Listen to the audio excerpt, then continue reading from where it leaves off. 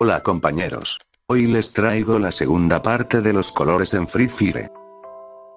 Como verán, hoy toca el color naranja, donde también se va a incluir el color marrón. Y este será el orden de las cosas que veremos, así que sin más, empecemos.